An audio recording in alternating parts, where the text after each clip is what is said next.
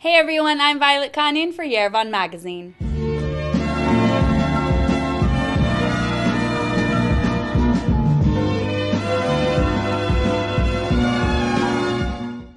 A photo snapshot can capture the essence of a film. Whether taken on set or off, a photo can tell the full story of how a film was made and under what circumstances.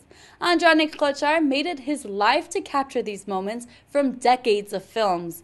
From photos of directors guiding actors to completely offset photos of actresses getting their makeup done, and all the way to actual on-set photos during the filming of these movies, Kochar has done it all. He has invited Yerevan magazine to take a sneak peek through his camera lens, sharing these magical moments. To see these incredible photos, pick up the latest issue of Yerevan magazine, go to our iPad app, or visit us at yerevanmagazine.com.